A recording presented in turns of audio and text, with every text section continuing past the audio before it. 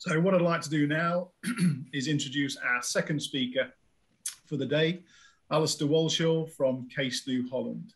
Alistair's current role for CNH is open innovation, and that's within the Advanced Technology Group. He is responsible for identifying external collaboration opportunities to complement any and all of the CNH industrial group sectors.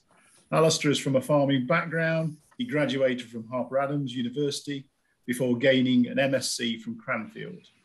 Alastair started his career with Bayer Agrochemicals in the product development arena, working on application methods for new agrochemicals. Following this, he joined Ford Tractors, one of the precursor companies of CNH Industrial, and as an international demonstrator and product support specialist, he has worked in many countries around the world. He has since held numerous regional and global positions in both the commercial and product development sectors. Most recently, he has been focusing on off-highway emissions legislation and its implementation and sustainable alternative fuels. Alistair is a long-standing uh, member of I Agree and has been since his university days. Alistair's presentation today will give you an insight into New Holland's new T6 methane tractor and how it supports a carbon neutral farming cycle. Over to you, Alistair. Thank you, Charlie. And uh, I have to say thank you to Paul earlier on for the uh, reminding me that it's been 40 years since I've been at Harper Adams. It's a, a, bit of a bit of a kick to the stomach. I didn't think I was that old, but obviously I am. Um, right. Okay. So before we start into the tractor part of things, I just wanted to a little bit of revision, if you like, and reminder of who CNH Industrial are. So let's uh, just get on the right part. So we are probably the biggest company that most people have never heard of. Um, we're one of the largest and most geographically diverse industrial capital goods companies on the planet. Uh, we're the company behind 12 commercial brands. We employ 60, over 64,000 people, and we operate in almost every market in the world. If we take a closer look at things that people may recognize, we are the second largest manufacturer of agricultural machinery, and we trade under three brands. Uh, we are a global player in the construction equipment business and operating under two brands. We are the market leaders in alternative fuels in the commercial and specialty vehicle sector, operating under six brands, including Iveco trucks and the Magirus firefighting vehicles. We have a powertrain division, and of course, we have financial services to support our customers and dealers. Our main centre of operation is in, in the UK, is based in Basildon. This was originally built by Ford Motor Company back in 1964 and continues today nearly 60 years on as a manufacturing centre for the iconic blue tractors that we all know and love. While the externals of the main building have remained very similar, internally things are quite different. The production systems, the technology and the size of the vehicles being produced have changed considerably. In, the, in these days of sustainability, it's actually quite interesting to note how the consumables have reduced.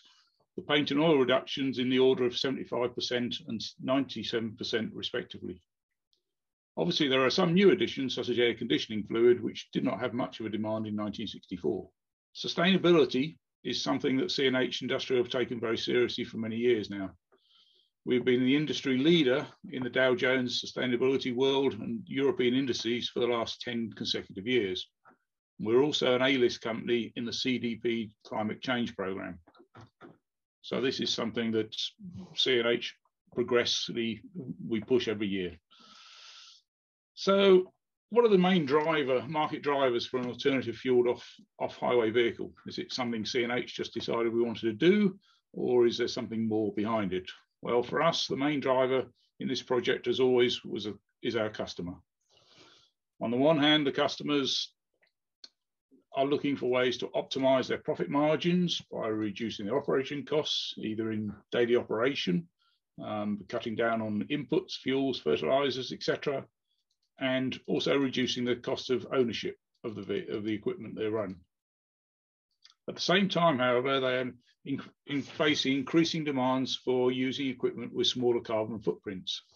This can be driven by corporate businesses like supermarkets passing greenhouse gas emission targets down to, down to them, municipalities setting sustainability targets, uh, and qualifying for funding linked to environmental projects. Finally, there is also potential of legislation or political pressure, legislation aiming at carbon neutrality and methane reduction, which obviously has really hit the headlines as recently as yesterday uh, at COP26. As the market was evolving this direction, New Holland, um, at New Holland, we explored how renewable fuels and low emission technologies could help our customers. The story of the T6180 methane power really originates right back at 2006, when as New Holland, we introduced our clean energy leader strategy. In 2007, we were the first to support 100% biodiesel on all our tractors. In 2009, we unveiled the, the NH2 hydrogen concept, and we presented the energy independent farm vision. Our work on the NH2 project made it very clear that this technology was far from being financially viable, but the early concepts of the energy independent farm was something that struck a chord with our customers who wanted a solution in the short term. They didn't want to wait for the hydrogen technology to mature. Within the NH2 project, we'd also considered the use of methane from biogas plants, and our customers liked the idea of using biomethane to power the tractors. so the story continues, and in 2013, we showed the first generation of a T16, a T6 methane powered tractor. Many of the parts for that vehicle were actually coming from the parts bin of our on-highway Iveco cousins. In 2015, we showed the new and improved second generation methane tractor, and then we started the industrialisation of the product in 2017 with some support from the UK government's Advanced Propulsion Centre. The culmination of this work is the commercial production um, in Basildon will start next month. When it comes to alternative fuels, CNH, we believe that the final solution for the off-highway and agricultural sectors will not be a one-size-fits-all solution. At the right time, there will be a place for both hydrogen and electric applications. However, we believe that today methane, in particular fugitive, fugitive methane, produced from animal waste is a real solution that enables a tangible, economic and sustainable solution to the sectors. Our hydrogen interest has not gone away, but both the vehicle technology and the market infrastructure is still very immature. Likewise, pure electric vehicles have many challenges today, However, the use of electrification does show some potential of interesting benefits. Taking a closer look at methane tractor development, as CNH, we've had the benefit of over 20 years of in-house expertise and learning from our Iveco cousins.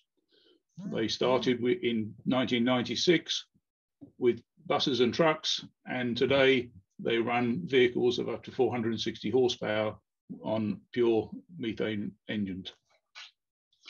Using group experience is one of the key traits of CNH Industrial. So we look to transfer this technology know-how from the on-road sector to the off-road sector. So what did our agricultural customer actually want?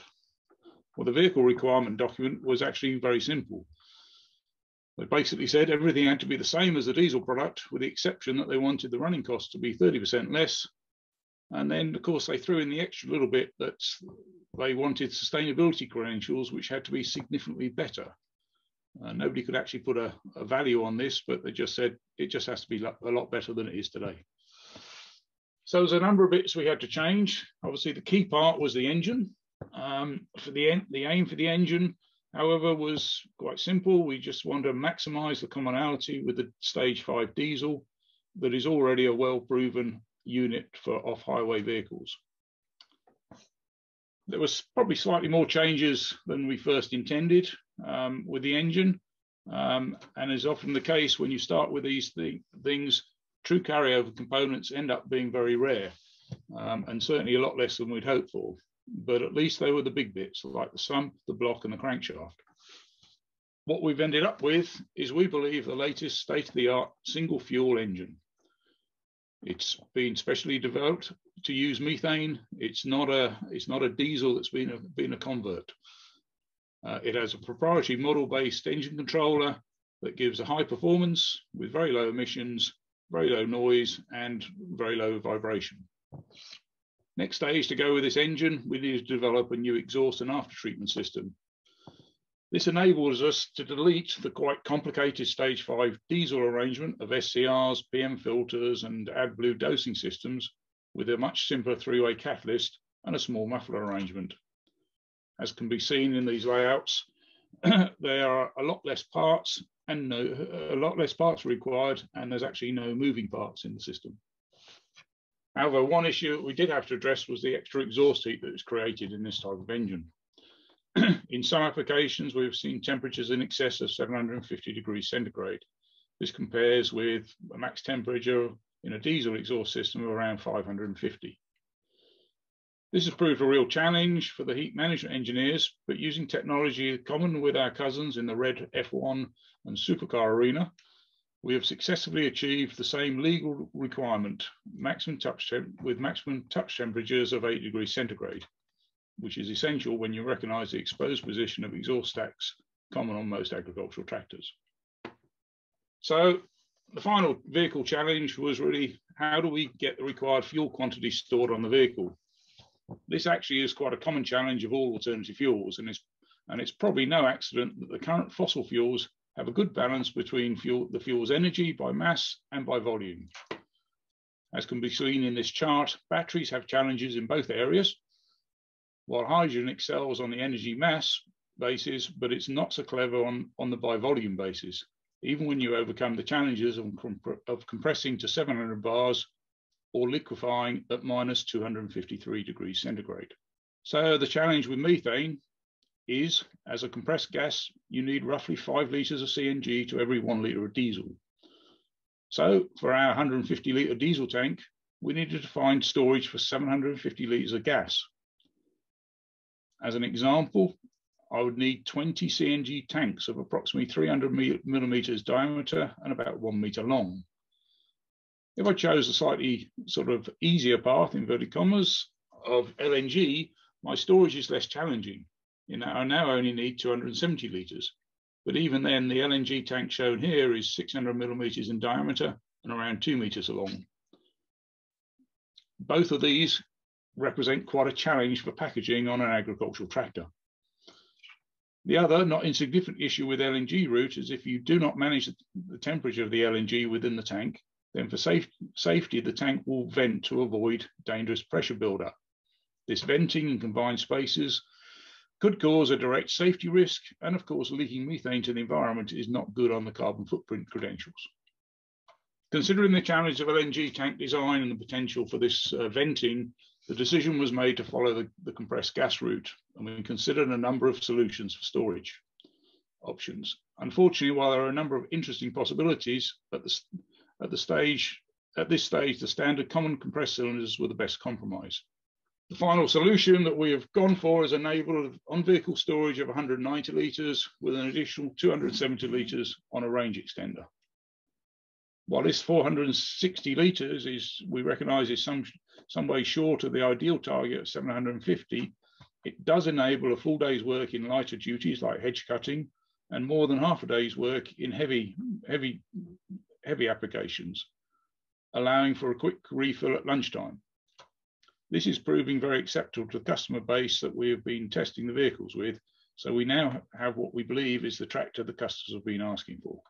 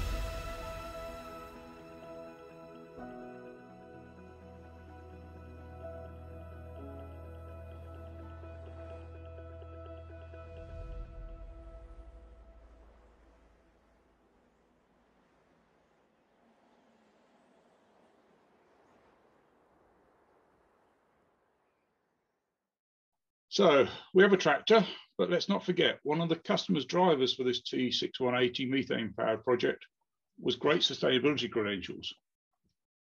And with this tractor, we believe we've changed the game. On the left, you see the history of the impact of emission legislation, and you see the great and substantial progress has been made on diesel products in reducing NOx and PM since 1996. On the right, you see the T1680 methane powered compared with these latest stage five requirements. We have a 98% less uh, particulate matter, we have 90% less hydrocarbons, we have 75% less carbon monoxide, 62% less NOx, and on top of that, we have 11% reduction in the CO2, which is not actually mandated currently by stage five le legislation. So from a vehicle point of view, we think we've done very well. However, of course, that's not the full picture. Vehicle emissions, tank to wheel as it's often called, is only half or less than the, or less of the full emissions impact. The source of the fuel is a major contributor, so it's really key to understand what the, oh, sorry, it's really key to understand the whole impact of alternative fuel is from well to wheel. The chart on the right shows the well to wheel greenhouse gas impact of various fuels. If we look at producing biomethane from municipal waste and biomass, this has a carbon reduction factor of around 80% when compared to diesel. But if we target biomethane, production from animal slurry and from farm waste, then we're capturing, capturing what's known as fugitive methane. That is naturally occurring methane from biological processes. And this has a very strong negative impact on the CO2 with reductions of over 180% compared to diesel. So where can we get the fuel from like this? Well, there's about 18,000 biogas plants around Europe that have been put up um, to produce biogas. Uh, a lot of those have been incentively driven, and they're also they're obviously a good initial source for us. However, probably more interesting to us, there's 140,000 dairy farms in Europe with herds of 50 cows or more. Um, just to ask why, why may I say 50 cows or more? Because our indications are that if you've got 50 cows, you've got enough enough uh, tractors or enough methane from those cows to run our tractor for a year. Now, interesting enough, if you look at these maps here, the map on the left shows the methane hotspots in, in the UK. Now, we could assume that this distribution that we're seeing, where all the yellow parts are, is because all the national the national grid leaks occur in these areas. But when we look at where the dairy and pig hotspots in the UK are, we find there's a good correlation of the areas high methane and livestock rearing. So this is the fugitive methane that's available to us. So this now brings us back to the CNH vision of 2009 in the energy independent farm.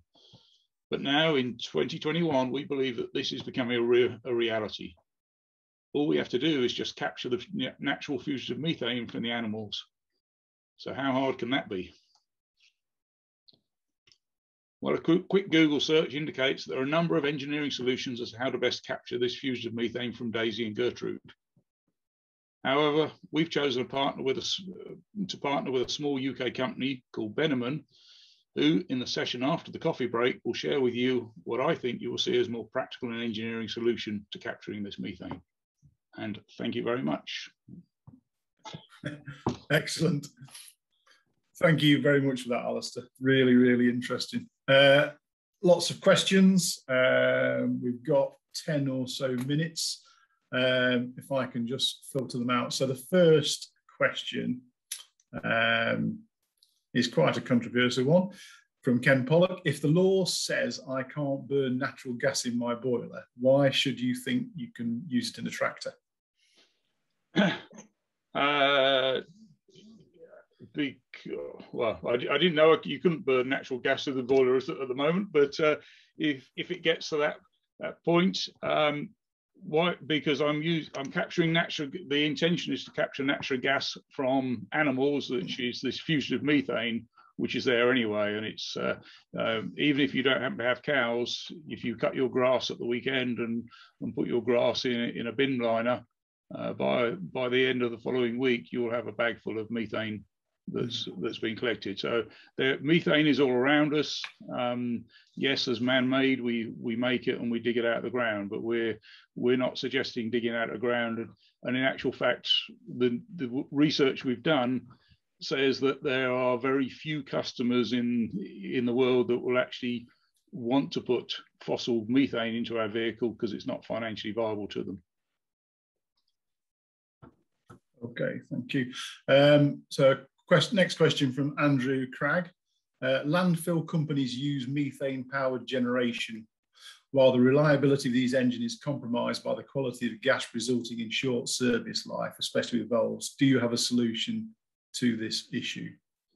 Uh, we, we have a potential solution to this issue that we're looking at in that uh, certainly the easy gas and most of the biodigesters, to be fair, the 18,000 biodigesters in Europe, um, out of those, most of them are feeding these uh, uh, low efficient engines to, to provide the combined heat and power activity. Not many are are cleaning the gas and putting the gas into the gas grid. Um, we, we need clean gas or clean gas to put into the, the our engines. Um, so something that's got 85% um, or more methane, uh, and it it can be done. I say the, the the presenters coming next will will give you some ideas of uh, of how we believe it can be done at an economic level not at the the massive industrial scale that uh, that is is normally common. Um, just off the back of that um, reliability question, if I just jump to Chris Biddle's question, what, if any, are the servicing and repair challenges for dealers on methane tractors? Uh, we we don't see there any the, service the the the, uh, the service um, intervals that we're looking at with our tractor, our gas tractor is exactly the same as the diesel uh, tractor. The, the principles of the engine are the same. So we are doing very, we, we are doing obviously um, specific dealer training to, to manage the gas, but it's really just managing a new fuel, a, a, new liquid, if you like. It's not quite a liquid, obviously, it's a, it's a gas, but it's it's a little bit like the introduction of AdBlue 10 years ago when uh, when emissions legislation started. It's yes, it's something new for the dealers to manage, but it's it's certainly well within their capabilities, and we're not asking them to uh, sort of totally change their systems completely. And and that's that's what we see as one of the key advantages in that uh, this is a progressive um, introduction for both the dealers and the farmers. We're not uh, we're not trying to change the whole world in one go. Okay, uh, and if I just sneak a question in off the back of that, um, with the you mentioned the range extender that you, you fit on the front, is that something that's easily swappable? I could a could a farmer have two of those uh, if he was working remotely uh, you, and, and, swap them over or? A, a, farmer could have two of those and swap them over um, but what's um, in the discussions that we've had with various farmers uh, uh, that we've been testing the vehicles with and in in in the UK and other countries um, obviously as we know, all know farmers are quite inventive in their own ways and they're, they're seeing other opportunities to uh, extend their ranges that that we um, we technically as as uh, as responsible manufacturers can't condone, but um, obviously may happen going forward. Homemade Bowsers. oh, I can't possibly say. uh, so I've got a question from Brian Matthew. I do apologise if I don't do it justice because it's quite a long question. Um, he says, interesting presentation, but is this just not tinkering around the edges while Rome burns? as CO2 is still being produced. His question is about how synthetic fuels made from CO2 in the atmosphere and renewable energy. This is now being considered for aircraft fuel. One has to ask why not for agricultural vehicles or indeed the rest of the internal combustion engine powered transport fleet. Uh, from what I can see, is it down to scale? if it is done at a big enough scale, then the price will come down to make it affordable. Given that this is now a climate emergency, surely this is something governments and industry can embrace. So really a question about the CO2 and synthetic fuels. I think I think CO2 CO2 is obviously very important, but I think what we've got to miss and what's being picked up at COP26 yesterday is that methane is is more of an immediate impact in that we can uh, CO2 stays around in the atmosphere for 100 years, and everything's been quoted on this 100 year scenario. Uh, if you look at the methane scenario, depending on, on a 100 year basis, it's as someone's put in the chat already, it's about 26. But if you put uh, if you put it in the in the 20 year period, it's it's an 86 times multiplier. Um, and so methane is something we need to address quickly because otherwise we may not be around in 100 years to worry about the 100 year period. So we, we need to address the, the near term. Um, and again, if we use, if we look at using the fugitive methane that is produced by cows and rotting veg vegetation, um, then we are capturing methane that's going to go to the atmosphere anyway. So if we, um, it's, we're not promoting at the moment um, zero emissions at the point of use. But again, we've got to look at the whole well to wheel scenario and not just the emissions produced by the vehicle burning the fuel. Um, that's that's an area that is critically important. Uh, and and without if, if, we if we just look at hydrogen, hydrogen everyone is saying is a great scenario, but uh, as we all know, finding hydrogen fuel, fuel station on the highway at the moment is almost an impossibility. In very few areas can you find that. When is when is hydrogen going to be readily, readily available on a farm?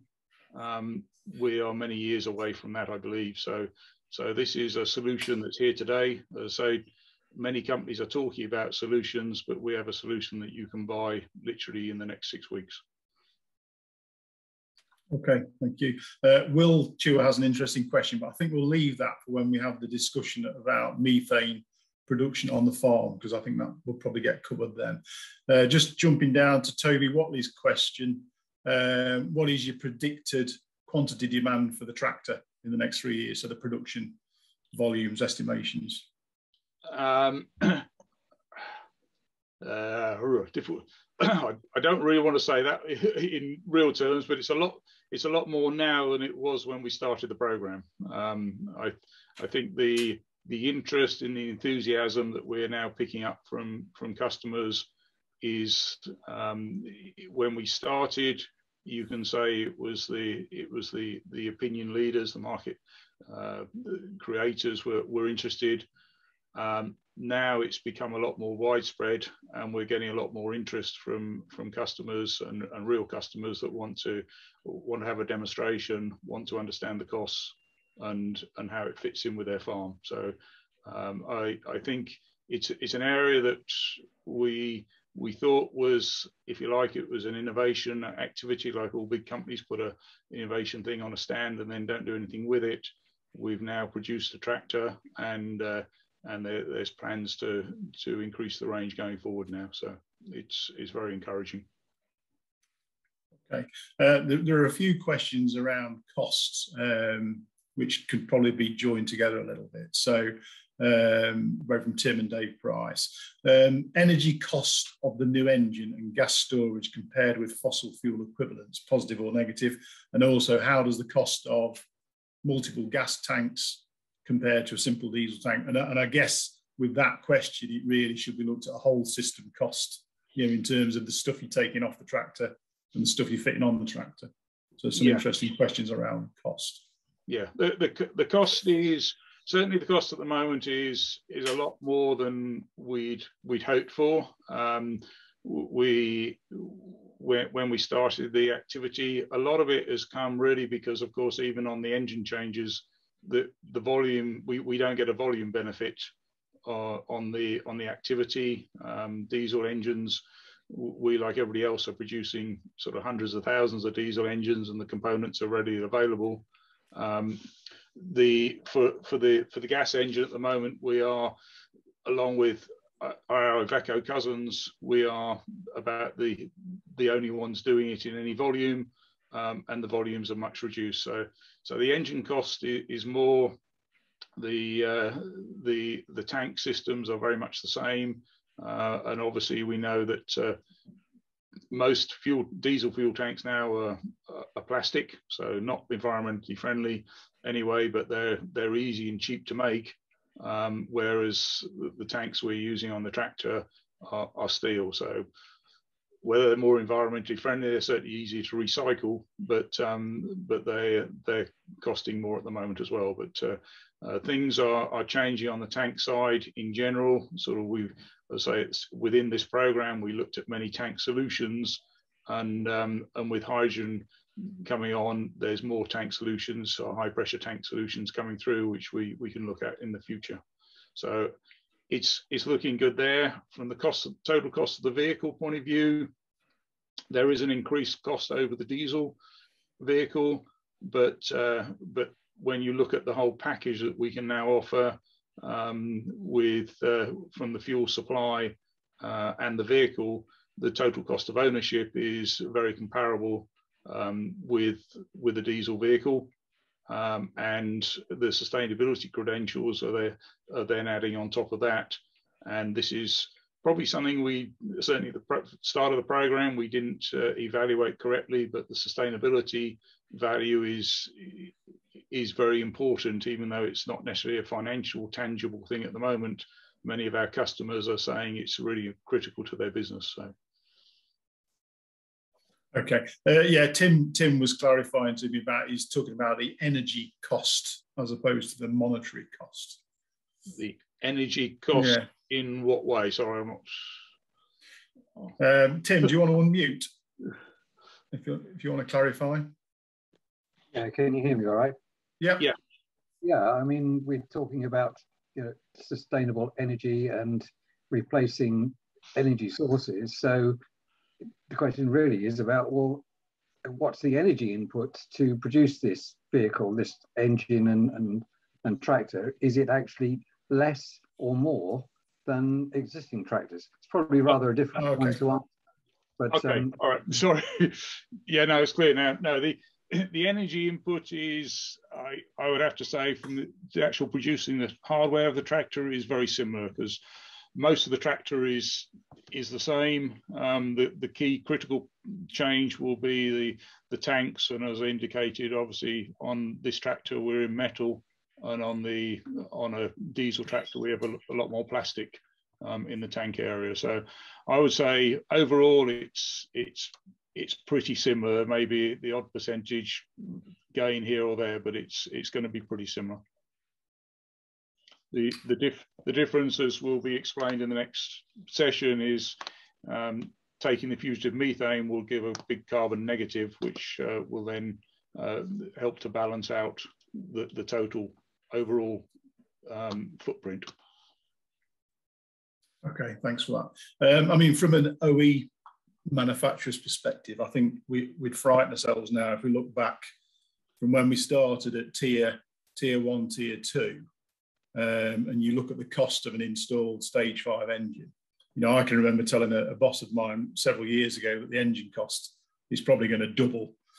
You know, as we go through these these emissions uh, levels, and it's probably far more than double when you look at it, what an engine cost back in pre-tier days, you know, versus what a stage five engine of equivalent horsepower costs. It's phenomenally expensive with all the equipment and complexity that's on there. So, yeah, it's it's, yeah. The cost, it's the cost of the engine and the cost of the after treatment to clean it all. If you include the the after treatment exhaust system in, it, the costs become quite eye watering. But yeah, but uh, unfortunately, when we obviously, as said in the presentation, we are as a company we we haven't uh, discarded the hydrogen activity at the moment. But when you compare even the current costs of of the the ICE engine and uh, and the after treatment with with hydrogen, the hydrogen is still very sort of uh, immature. It needs to be a lot closer than it is. Yeah, yeah. Okay, well, we're about 20 past uh, 11, so we're going to have a, a 10 minute break now. Thank you, Alistair. Absolutely fascinating presentation. It's going to be great to, to see some of these tractors out working. Um, I know you've got a number of them around the globe.